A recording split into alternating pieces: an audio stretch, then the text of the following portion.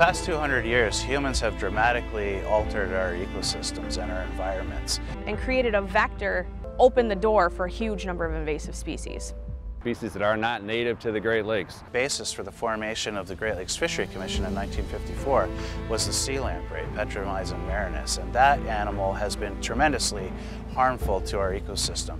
In the Great Lakes, you have a lamprey this big attaching to a fish this big.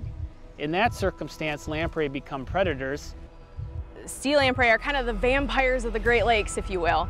They have this kind of creepy looking buccal cavity with all these teeth in it, the sucking mouth part, they attach, and inside that mouth is a rasping tongue that has teeth on there that they use almost as a drill, hitting over and over on the fish until it bores a hole in.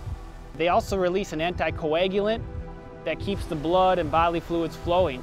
A single lamprey can consume up to 10 to 20% of its body weight in blood in a single day.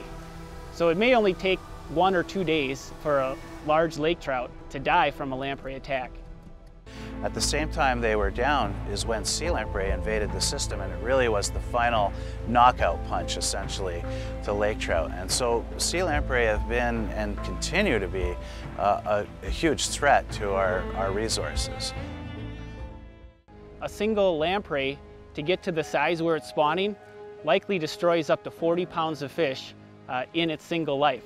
Multiply that times tens of thousands of lamprey, you have more dead fish caused by lamprey than more fish that are caught by commercial and recreational fisheries combined.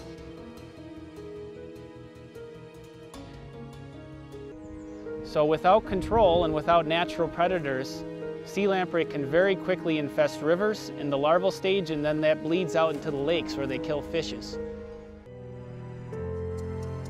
So that right there is just one of the reasons why we don't want critters like sea lamprey to get up into the Boardman River watershed.